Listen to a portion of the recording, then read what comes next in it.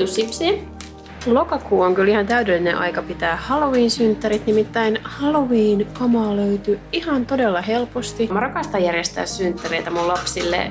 Nämähän voi mennä vaikka suuhun vahingossa. Meillä on toi muutto tulossa nyt loppuvuodesta ja kaveripiiri tulee vaihtumaan, niin on tosi tärkeää se, että ää, lapset saa nyt vielä juhlia synttäreitään yhden kerran näiden kaikkien rakkaiden ihmistensä ja kavereidensa kanssa, jotka on täällä Helsingissä. Moikka ja tervetuloa uuden videon pariin. Tällä videolla me valmistellaan Tomaksen 5V-synttäreitä. Ja tänä vuonna Tomas toivo teemaksi Halloweenin. Lokakuu on kyllä ihan täydellinen aika pitää Halloween-synttärit, nimittäin Halloween-kamaa löytyy ihan todella helposti. Löytyy koristeita, erilaisia tällaisia koristeita niin kuin tarjoiluihin ja siis kaikkea mahdollista, mitä vaan saattoi toivoa, niin löytyi tosi helposti. Että onneksi Tomas on syntynyt lokakuussa, koska hän halusi nämä Halloween-synttärit, niin löytyi materiaalia niihin.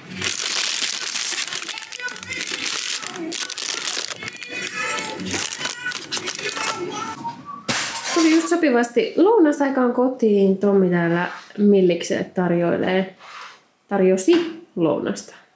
Mutta mä voisin vähän esitellä teille, että mitäs mä ostin. Mä näytän noista tarjoiluista tarkemmin vähän myöhemmin, koska mä en ole ihan kaikki ostoksia vielä tehnyt niihin liittyen, mutta ostin jotain Halloween-teemaisia karkkeja tai herkkuja jo, ja voisin näyttää niitä ensin. Kummitussipsiä. Sitten meillä on ongintaleikki. Mun lapsuudessa onginta oli aina niin kuin yksi synttäreiden pääjutuista. Ja nyt tällä hetkellä se on tullut takaisin. Kun meidän esikoinen oli pieni, niin hänen kaverisynttäreiltä ja hänen synttäreille ei ollut ongintaa. Mutta nyt meidän keskimmäisen myötä nämä on tullut niinku uudestaan, että kaikille hänen kavereidensa synttäreillä on ongintaa ja hän haluaa myös ongintaa. Ää, joten joutuu aina vähän miettimään, että mitä sinne laittaisi sinne pussiin, ettei tulisi kellekään mitään niinku turhaa. Mutta löysin sitten tällaisia Halloween-teemaisia karkkipaketteja, niin ajattelin, että tämähän on ihan täydellinen tuonne onginnan tota, ongintapussiin. Mä just tajusin, että onkohan näitä tarpeeksi. Pitäisi olla, meillä tulee 10 lapsivierasta, 8-10. Joo, taitaa näitä olla. Tänä vuonna meillä on jäätelukakku lapsivieraille, niin tulee tämmöisiä silmiä siihen jätskikakkuun ja sitten tällaisia kummituskoristeita. Noin silmät on syötäviä. Ja sitten mä ostin kanssa tällaisia syötäviä kummituskoristeita, koska Tomas oli kauhean huolissaan siitä, että onko jätskikakku oikeasti tarpeeksi pelottava, onko se oikeasti tarpeeksi Halloween-mainen, mutta nyt me saatiin siitä tarpeeksi Halloween-mainen. Hän verkkoja. Yritän pitää ne mahdollisimman hyvässä kunnossa, että saisi ne säästettyä myös ensi vuoteen tai tuleviin vuosiin. Sitten tällaiset roikkuvat lepakot löytyy. Sitten mä ostin tällaisia äh, tatuointeja. Mä ajattelin, että mä laitan näitä kanssa sinne lasten yllätyspussiin, eli tällaisia Halloween-tatuointeja. Niin, niitä laitan sinne kans. Sitten suklaa, silmiä, täydellisiä Halloween-teemaisia karkkeja, kynttilä, vähän ilmapalloja, matokarkkeja. Tällaisia löytyi kans. Ihanan ällöttävää. Sitten mä ostin kanssa tällaisia äh, bokseja, bokseja, eli siis tällaisia niinku, äh, laatikoita, mihin lapset voi kerätä niinku sipsiä, popparia, karkkia. Että tavallaan se lautane on tämmöisen pienen ihmisen kädessä, kun me, siis kaikki lapsivieraat on semmoisia 4-5-vuotiaita, niin ehkä tämmöinen tämmöinen niinku laatikko pysyy paremmin mukana. He kuitenkin kävelee ympäriinsä täällä ja ottaa sen herkkukan niinku laatikon mukaan. Niin jos, jos he kantaisi lautasta, niin se sitten ehkä leviäisi helpommin kaikkialle se sisältö. Niin tää on pikkasen helpompi tuollaisille pienille. Hei, täällä on vielä tällaisia, tällaisia suklaakolikoita, mutta Halloween-teemaisia, niin mä ajattelin, että mä laitan jokaisen yllätyskassiin kanssa tarkenna kanssa tällaisen suklaakolikon. Hei, ja sitten mä löysin tällaista Halloween strösseliä jätskikakkuun. Hei, kattokaa kuin siisti. Tää löytyy Tigerista. Mä oon niin onnellinen, että siellä uudessa kodissa meillä on paljon säilytystilaa, minne laittaa kaikkea tällaista sitten talteen. vähän järkevämmin kuin mitä meillä täällä on. Mutta joo, tosiaan, ja koska kyseessä on sillä tavalla naamiaiset, että kaikki lapsivieraat saavat pukeutua, miksei aikuisetkin totta kai, niin äh, ajattelin itsekin vähän panostaa tähän ja ostin sitten itse millikseen. Ostin itsellekin tällaiset. Mitä äitillä on päässä? Mikä sillä on päässä? Mut hei, to, Tommi ja Millis on katsonut tätä mun esitystä täällä, kun mä oon näyttänyt kaikkea, että mitä mä ostin. Me ollaan hyvä yleisö. Kyllä, unboxing-ostokset. Saaks nyt taputtaa? Joo, mutta mä voisin nää laittaa ehkä... voisin ehkä nää laittaa nyt tota, paikalleen. Ja osan näistä vielä jemmaan ennen kuin meidän synttärisänkari tulee kotiin. Voisin vähän kertoa, että miten me juhlitaan tänä vuonna Tomaksen synttäreitä. Eli normaalisti me ollaan tehty aina meidän lasten synttäreiden kohdalla niin, että kaverisynttärit on eri päivänä ja sukulaissynttärit on eri päivänä. Joskus saattaa olla jopa eri viikkona, eli tavallaan niin kuin viikon erotuksella.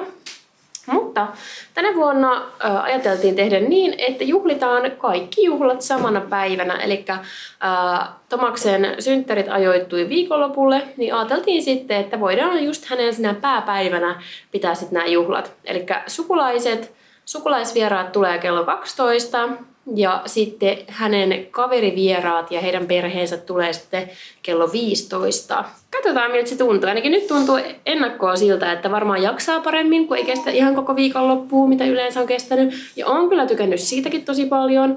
Mutta nyt kun on vauva ja meillä on paljon muutakin tässä, niin tota, on ihan kiva tehdä tää nyt tällä tavalla.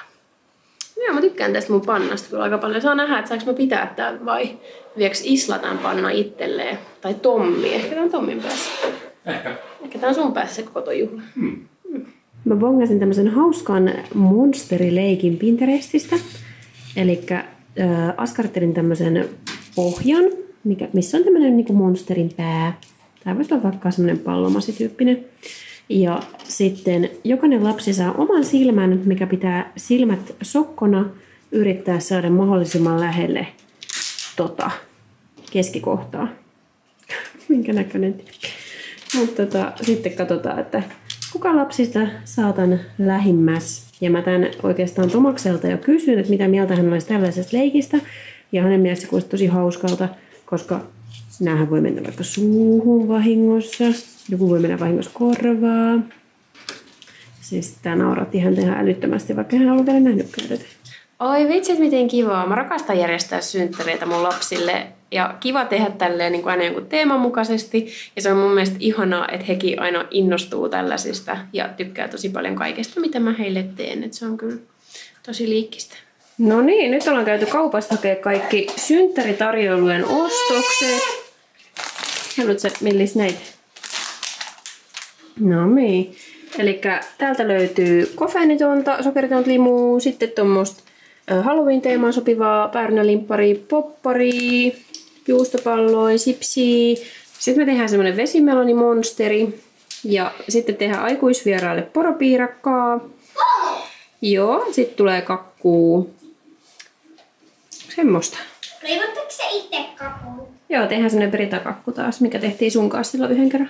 Nämä synttärit on siinäkin mielessä todella tärkeitä tänä vuonna, että kun on aikaisemmin ollut noin pandemiavuodet, niin ei ole ihan hirveästi pystytty juhlimaan nimenomaan Tomaksen synttäreitä samalla tavalla kuin esikoisen synttäreitä, mutta myös sen takia, että meillä on tuo muutto tulossa nyt loppuvuodesta ja kaveripiiri tulee vaihtumaan, niin on tosi tärkeää se, että lapset saa nyt vielä juhlia synttäreitään yhden kerran näiden kaikkien rakkaiden ihmistensä ja kavereidensa kanssa, jotka on täällä Helsingissä. Ja nyt Tomaski on niin kuin viimeistä kertaa sitten totta kai niin kuin myös tuolla, sit tuolla päiväkotiryhmässä, niin hän sitten saa näiden päiväkotikavereiden ja muiden tärkeiden kavereidensa kanssa sitten juhlia. Ja nämä kaverit, jotka on mun kavereiden niin kuin lapsia, niin he totta kai pysyvät elämässä nyt muutenkin. Mutta just ton muuton takia niin koen nämä juhlat tosi tärkeäksi ja toivon, että kaikki vieraat viihtyy ja lapsilla on hauskaa ja he tykkää myös tästä meidän Halloween-teemasta ja nauttii juhlista.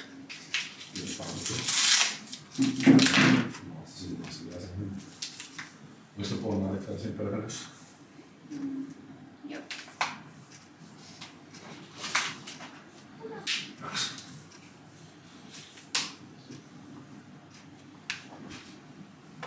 Tein äsken tuon poropiirakan ja nyt mä teen lihapullia sellaisiin herkkutikkuihin. Ylihuomenna tosiaan on juhlat, mutta ajattelin, että teen nämä nyt hyvissä ajoin valmiiksi. Nämä kumminkin säilyy jääkaapissa ja itse asiassa tuo piirakko on vähän parempaa, kun se on kerennyt vähän aikaa olla kylmässä. Niin ei tarvitse sitten huomenna kiirehtiä, kun nämä on tehty. Et huomenna mä teen sitten vielä kakun. Kaverijuhliin tulee jäätelökakku, mutta sukulaisille tulee pritakakku. Mä ajattelin, että me voitaisiin katkaista tämä kahtia ja jatkaa seuraavalla videolla. Eli seuraavalla videolla näytetään, että mitä me annetaan Tomakseen lahjaksi, miltä nämä kaikki koristeet loppupeleissä sit näyttää yhdessä, kun kaikki on kasassa, minkälaiselta näyttää meidän Halloween-tarjoulupöytä ja näin poispäin. Niin tsekkaa Halloween-synttäreiden semmoinen vähän niin kuin kooste sitten, seuraavalta videolta ja se tulee jo tämän viikon sunnuntaina. Ei tarvitse kauaa ottaa. Kello on 10 10, joten mä jatkan näitä lihapullien pyörittelyä, että mä pääsen kohta iltapuuhiin kanssa. Että on tällaista, mutta mieluummin mä teen tän nytten, kuin että mä tekisin tän huomenna illalla.